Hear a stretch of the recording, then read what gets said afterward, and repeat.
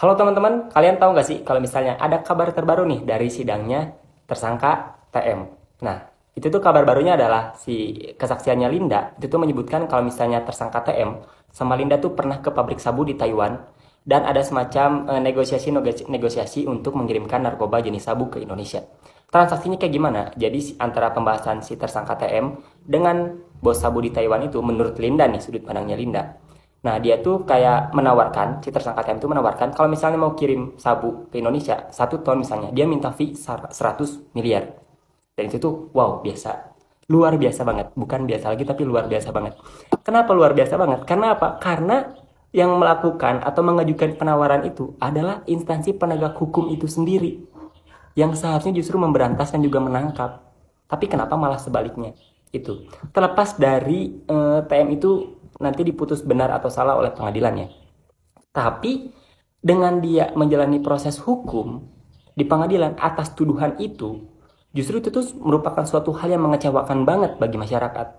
Udah mah kemarin Verdi Sambo, terus sekarang ada lagi TM. Belum lagi kemarin yang terjadi tuh polisi lalu lintas yang melakukan pungli. Nah ini kan kayak apa ya? Kayak semacam ironi banget. Kenapa penegak hukumnya aja sampai kayak gini? Faktornya apa? Apakah mereka kekurangan uang? Atau emang basicnya emang mereka orangnya ya kayak gitu aja? Nah, di sini aku mau garis bawahi sebenarnya gimana cara ngatasinnya. Cara ngatasinnya sebenarnya sebenarnya dari polisi itu sendiri udah punya mekanisme pengawasan dan juga penegakan hukumnya sendiri.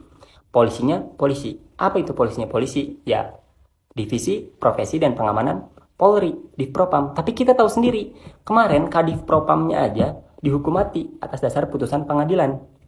Nah, sekarang polisi-polisi yang tidak diawasi ini meskipun udah ada Kadif Propam baru, malah kayak semacam apa ya, semakin gencar entah itu karena uh, mulai terbuka sekarang atau emang itu udah menjalar dari dulu dan sekarang uh, kayak lebih meledak aja gitu. Nah, sebenarnya ada tiga hal yang mau aku garis bawahi di sini. Yang bisa kita lakukan atau yang bisa menjadi saran ataupun sedikit kritik. Ada tiga hal. Yang pertama adalah controlling, yang kedua adalah monitoring, dan yang ketiga adalah evaluating atau evaluasi. Yang pertama tuh monitoring nih. Yang eh yang pertama tuh controlling dulu. Controlling itu gimana caranya?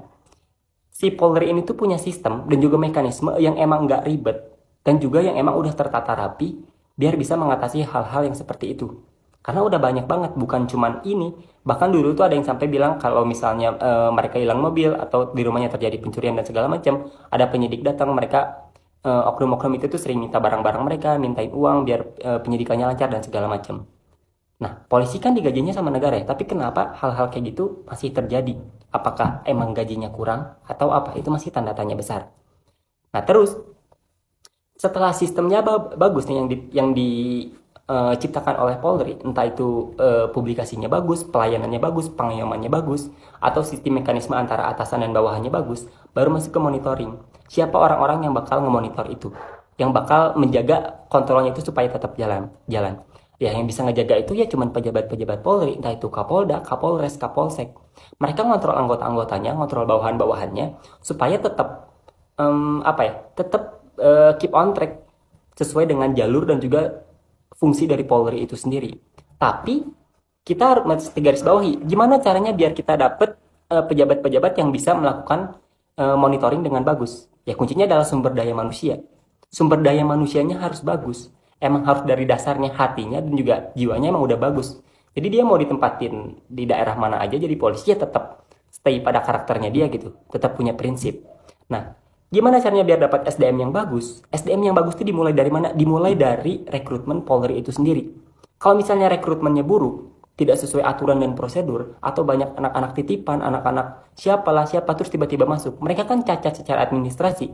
Dari cara masuknya aja udah ilegal, dari cara masuknya aja udah salah gimana orang itu tuh bakal bener ngejalanin profesinya kayak gitu.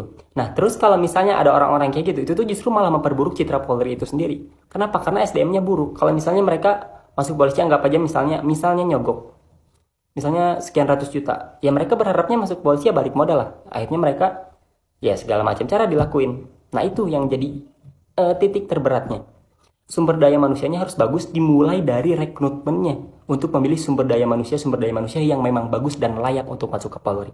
Dan yang ketiga adalah evaluasi. Evaluasinya dari mana? Evaluasi yang e, di, e, bisa dilakukan adalah melalui masyarakat. Nah, gimana caranya biar polisi itu tuh bukan nggak ada gap, nggak ada border antara masyarakat dan polisi. Tapi antara masyarakat dan polisi itu um, lebih ke friendly approach. Jadi pendekatannya sebagai teman, bukan sebagai um, hal orang-orang yang punya power dengan orang-orang yang lemah. Nah, antara civil society atau masyarakat itu tuh gimana caranya biar mereka nyaman, gimana caranya biar bisa polsek, polres, polda tuh jadi tempat untuk uh, masyarakat tuh bisa datang dengan sesuka hati mereka. Kalau misalnya mereka ada pengaduan, mereka ada pelaporan, mereka tinggal datang. Atau mereka misalnya ada keresahan mau konsultasi sama Polri, ya bisa di Polsek, Polres, Polda.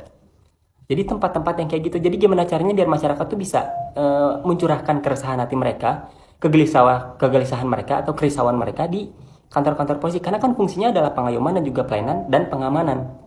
Nah itu. Makanya um, birokrasi dari mekanisme pengaduan dan juga pelaporannya tidak boleh dipersulit. Harus emang emang cepat dijangkau sama masyarakat. Karena kan masyarakat yang misalnya uh, dia ngerasa dirinya nggak aman atau pernah terjadi tindak pidana sama dia atau dia pernah kejadian maling dan segala macam mereka kan udah risau. Mereka tuh butuh tempat yang aman mereka butuh tempat yang aman nyaman dan juga mereka merasa dilayani. Makanya uh, tempat-tempat polri kayak polsek polres polda tuh harus jadi tempat yang nyaman untuk masyarakat. Oke? Okay?